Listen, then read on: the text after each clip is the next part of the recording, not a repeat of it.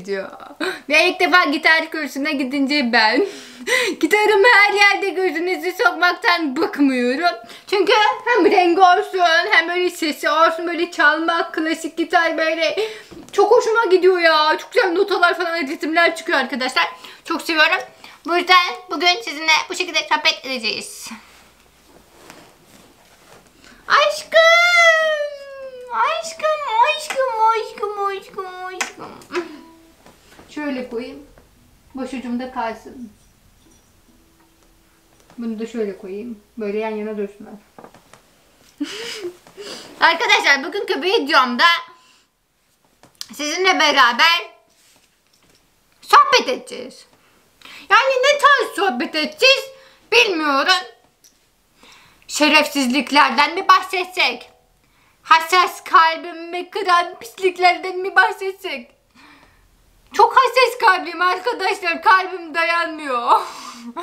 Şöyle anlatayım yani. Bana çok fazla kötü yorum geliyor ya. Videomun altına dans ettikçe bitlerin dökülüyor demişler. Nereden biliyorsun? Kuaförüm sen misin?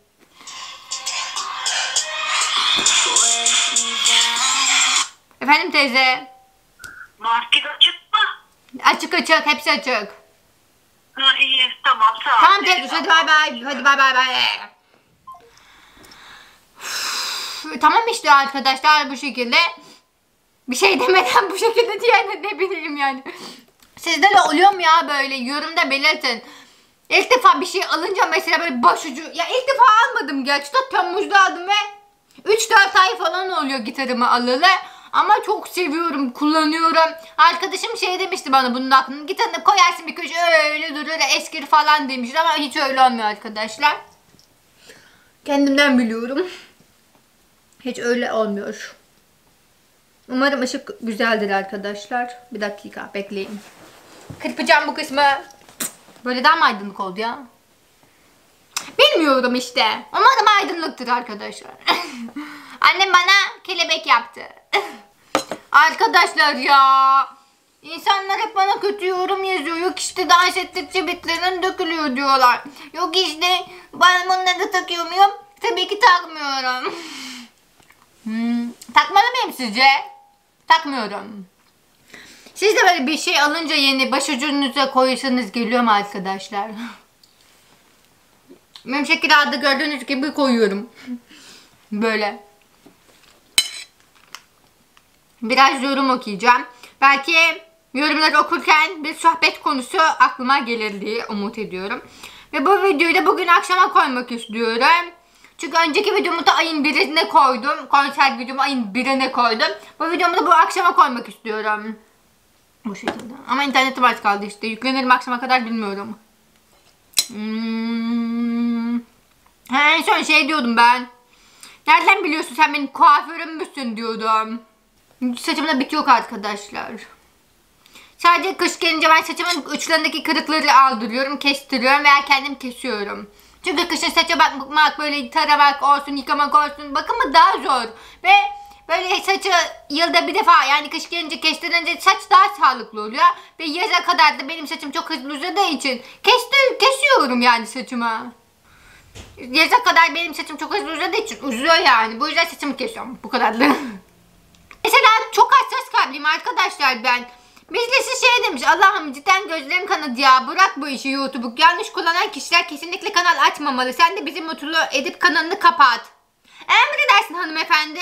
Emredersin. Hatta dağ evine yerleşeyim. Böyle dağ sizden uzakta böyle bir tane dağ evine yerleşeyim. Böyle insanlardan kendimi soyutlayayım. Yani beni unutun gidin siz ya Allah Allah. Çok saçmalıyorlar bazen Allah Allah. Böyle insanlar insanı hayattan soğutuyor. Çok şükür ben ben şu anda neye şükrediyorum? Sizin gibi kalp kıran bir insan olmadığım için yani el alemi çekememez bir insan olmadığım için halime şükrediyorum arkadaşlar. İyi ki kuduruk birisi değilim yani. Sizin gibi insanlık çekememezlik yapmıyorum. Daha böyle bir şeyler videolar çekince falan böyle kendisini geliştirmeye başlayınca hani böyle mesela şöyle anlatayım. İlk videom ve şu andaki videom aralarında bence çok fark var. Ve bir insan böyle görünce ilk videosu ve sonraki videolarını bayağı ilerleme kaydetmiş diye seviniyorum onun adına.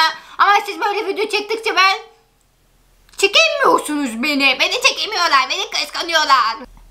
Ben mesela sevinirim daha işte ne güzel videolar çekmiş. 2000 aboneyi geçmiş. Falan diye sevinirim o videoyu paylaşan kişi adına sevinirim. Çünkü onun iyiliğini isterim. Ama siz çekemiyorsunuz ve hep benim ayağımı kaydırmaya çalışıyorsunuz. Yani şöyle kötülüğümü istiyorsunuz ya. Nasıl mutluysam öyle davranayım. Bırakın ya Allah. Arkadaşlar bir de ben TikTok'ta 100 bin olunca buluşma yapacaktım. 100 bini geçti bir hesabım ama buluşacak insan yok. yani buluşamıyorum arkadaşlar. Kimse buluşmak istemiyor. Denizli'de yaşıyorum ve Denizli'de de buluşacak insan yok. Bundan dolayı buluşma yapamıyorum. Ben birisi buluşma hayali demiş. Realde buluşma hayali. Tabi bunun amacı farklı. Bunu boş verin arkadaşlar. Bunun amacı farklı. Ama ben hayran buluşması yapacaktım TikTok'ta 100 bin olunca. 100 bini geçtim. Yani bir ara geçmiştim. Ama yeniden düştü. Düşüşte şu an. Ve 100 bin önce fan buluşması yapacaktım. Yani hayran buluşması ama olmadı. Videolarım izlenmiyordur. İkinci gün ben demiş. Mi yani. Mi ben demek bunu biliyorum. Arkadaşlar zaten böyle olmuyor mu? Böyle işlemiyor mu? Yani bakıyorsunuz işte hangi videonun tutulmuş, hangi videonun çok izlenmiş. Ve o videoyu ya göre yenisini çekiyorsun. Birincisini çekiyorsun, ikincisini çekiyorsun, üçüncüsünü çekiyorsun. Yani hangi video tutulduysa ondan çekiyorsun. Ben ondan çektim Allah Allah. Twerk yaptım. Seviyorum twerk yapmasını.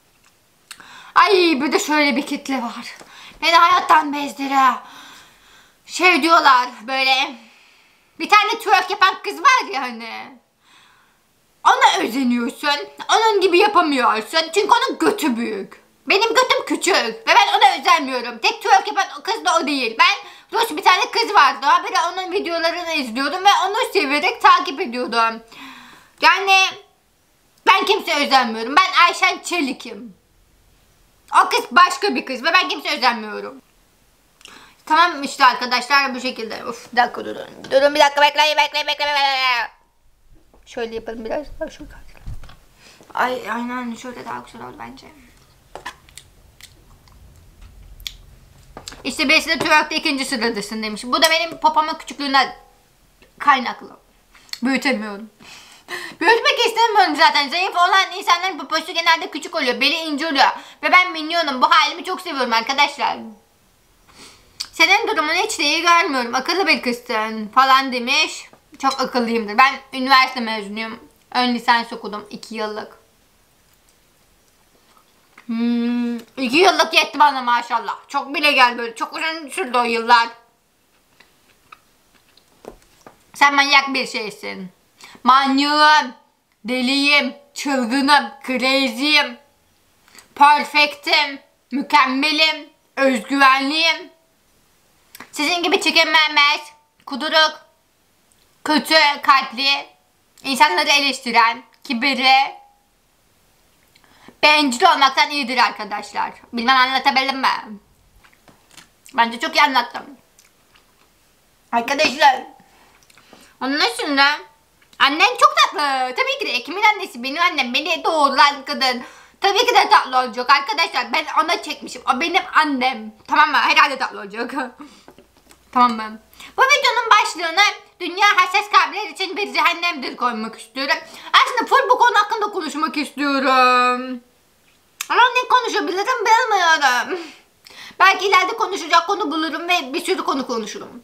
Yorumda belirtin arkadaşlar hangi konularda konuşmamı istiyorsanız lütfen. İleride şu an hmm, Hayat Bayramı Arsa şarkısında çalışıyorum. Yani gitar kursunda ilk bunu öğretiyorlar ve belki böyle çalıştıktan sonra falan iyice çalabileceğimi düşündükten sonra yani iyice çaldıktan sonra size YouTube videosu çekerim Hayat Bayramı Arsa şarkısını söylerim arkadaşlar. Hiç böyle olmaz. Çünkü gitar çalmasını seviyorum. Bir de becerebilsem böyle olsun. Hani öyle mi? Külotla twerk, külotla twerk deyip durmuş ya. Bana ben yedirecekler illa. Külotla twerk yapanı izle. Git Google'a yaz twerk, külotla twerk yaz. Çıkanı izle. Benden ne istiyorsun? Benden ne istiyorsun? Benden ne istiyorsunuz siz? Allah Allah manyak mıdır nedir? Yerim seni ya. Sen deli ediyorsun beni. Sonra arkadaşlar arkadaşlar diyorum siz. Sonra size arkadaşlar arkadaşlar diyorum. Ve birisi çok arkadaşlar diyorsun dikkat ettirmiş. Ben de sizinle bu şekilde anlaşıyorum. Yani size bu şekilde demek hoşuma gidiyor. Bebeklerim diyorum, arkadaşlarım diyorum, her şeyi diyorum. Sohbet etmesini çok seviyorum arkadaşlar. Çenem düşüyor ama konu bulamıyorum. arkadaşlar ya bir tane yazı okumuştum. Şey diyordu acaba dünyadaki oksijen insanı 80-90 yılda öldüren bir zehir mi diyordu. Ve bu bana çok mantıklı geldi. Yani başka bir diyarda, başka bir gezegende daha uzun süre yaşayabiliriz. Ama dünyadaki yani şu anda yaşadığımız bu evrende bu gezegendeki oksijen diyoruz biz buna hava yani. Bizi 80-90 yılda falan mı öldürüyor? Yani 70 yıl, 80-90 yıl yani 100 yıl yaşayan pek olmuyor ama da mı öldürüyor diyordu.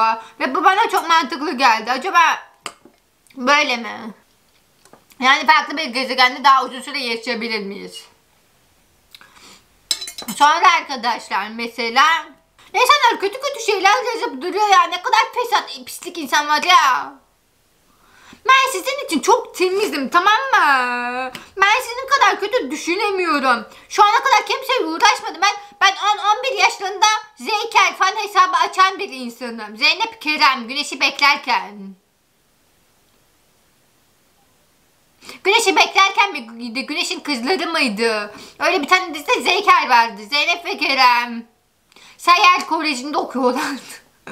yani ben onun fan hesabı açan bir insanım arkadaşlar. Küçükken fan hesabı açmıştım sadece onlara. Onun dışında pek fan hesabı açmamıştım ve sayfa yönetiyordum arkadaşlar. Zeynep Kerem'in editlerini falan yapıyordum. Böyle sayfada fotoğraflarını paylaşıyordum. Onun hayranıydım. Ben siz, benden size hiçbir kötülük gelmez arkadaşlar. Ne yaparsam kendime yapıyorum zaten. Ne yaparsam hep kendime yapıyorum arkadaşlar. Ne paylaşıyorsam hep kendime paylaşıyorum. Ne söylüyorsam kendim söylüyorum. Kendime söylüyorum. Kendimle alakalı konuşuyorum.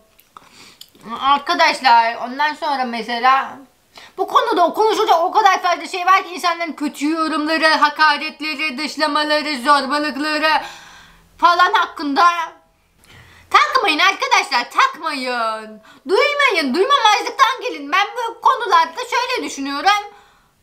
Beni çekemiyor, kıskanıyor, kendisi yapamıyor. Ben yaptığım için beni sevmiyor. Özgüvensiz o. Ben çok özgüvenli olduğum için yapıyorum ki ona bazı şeyler koyuyor demek ki. Ben özgüvenliyim, özgüvensiz falan diye düşünüyorum ve benim seviniyorum yani daha böyle kötü şeyler yazdıkları zaman. Yani benim bakış açım bu şekilde. Siz nasıl bakıyorsunuz bilmiyorum. Ama siz de böyle bakarsanız iyi olabilir bence. Yani benim düşündüğüm gibi. Yoksa bu sizin hayatınız yani. Başkalarına size karışmak gibi bir lüksü yok ki. Karışması çok saçma. Ve size karışıyor diye de sosyal medyayı bırakmak falan çok saçma. Gereksiz. Yapmayın böyle şeyler.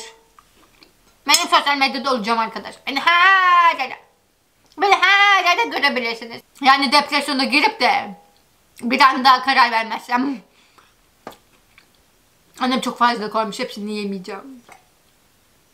Ondan sonra arkadaşlar küçükken zorbalığa uğrayan veya küçükken çok sessiz olan insanlar ileride biraz göz önünde olmayı isteyen insanlarmış. Bunu bir yerde okumuştum. Veya bir takipçim ne söylemişti. Öyle hatırlıyorum. Ben küçükken çok sessizdim arkadaşlar. Okulda hiç kimseyle konuşmazdım. Çünkü hep kavga edecek gibi falan aklıma gelirdi ve kavga etmeyi sevmezdim. Bunlar dolayı kimseyle konuşmazdım. Ama şimdi bir sürü düşmanım var. yani eski sevgili tarafım olsun. Yani konuşuyorum konuşuyorum bir sürü sonra düşmanım oluyor arkadaşlar ya. Şimdi de çenemi tutamıyorum. Bir de sosyal medya çağında yaşıyoruz arkadaşlar. Yani bu demek oluyor ki bir mesaj atmak bile aranızı bozabilir. Bir mesaj atmak bile bir mesajla bile haberleşebilirsin. Yani bir mesaj atıyorsun mesela hemen tartışıyorsun, kavga ediyorsun, ayrılıyorsun, tartışıyorsun, kavga ediyorsun, aran bozuluyor bu şekilde. Dünya hassas kalpler için bir cehennem arkadaşlar. Bunu biliyorum. Yani cehennem dediğim şu kötü bir yer. Çünkü insanlar kötü maalesef. Anlaşamıyorsun, anlaşılamıyorsun, anlamıyor seni kimse. Bundan dolayı seni anlamayan insanlar da seni, senin üstünde baskı kuruyor. Seni kötü zorluyor yani yapma, etme, tutma diye gitmek istediğin yoldan seni geri çeviriyor. Ama sen iyi ve kötüyü ayırt edebilecek yaştasın ve bırak akışına bırak yani ki ben belki bazı hatalarımı gördükten sonra geri döneceğim. Gene akıl vermek iyi bir şey yani böyle iyi, iyi doğruyu, yanlışı göstermek. Ama bunu kötü kötü sö- söylüyorlar, mesaj atıyorlar, yorum yazıyorlar. Ben buna, buna karşıyım. Çok saçma ya. Bir de insanı intihara falan sürükleyenler var işte. Öl sen, geber, geber git, pislik, bilmem ne. Ben şu anda fazla ünlü değilim. Ama ünlü olanlar var mesela benim takip ettiğim falan böyle otur olsun şey olsun. Onları çok seviyorum. Bayağı değişti. Yani çok havalandı ya falan. Bunları bipleyeceğim arkadaşlar. İsimlerini geçirmek istemiyorum. Ağzıma okuyun. Bayağı havalandılar yani.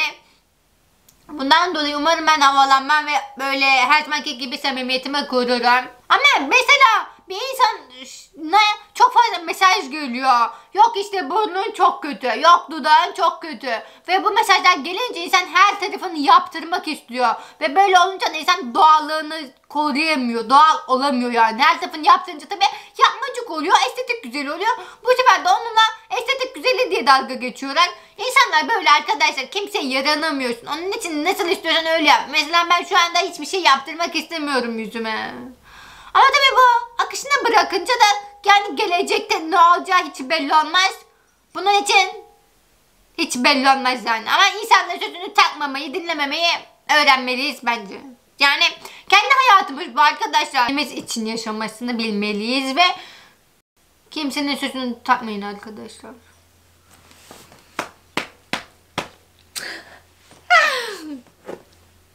Buram dinliyor. Arkadaşlar ondan sonracığıma nem nem nem nem ne diyebilirim başka? Bu şekildeydi arkadaşlar video. Bu şekildeydi arkadaşlar video. Umarım beğenirsiniz. Sizleri de seviyorum. Öpüyorum. Bay bay arkadaşlar. Like atın bir videomu beğendiyseniz. Beğenmediyseniz de dislike atın. Bunu hiçbir videomda söylemiyordum. Direkt like atın diyordum. Ama like veya dislike bunlar sizin kararınız. Atabilirsiniz tabii ki de. Ama yorumlarda sadece saygılı olmanızı istiyorum. Yani kötü yorum diye, diye bir şey yaz. Yani kendi düşüncenizi yazabilirsiniz. Tavsiye verebilirsiniz ama hakaret etmeyin yani. Zorbalık yapmayın. Bu şekildeydi arkadaşlar video. Umarım beğendiğiniz bir videodur. Sizi seviyorum arkadaşlar. 拜拜。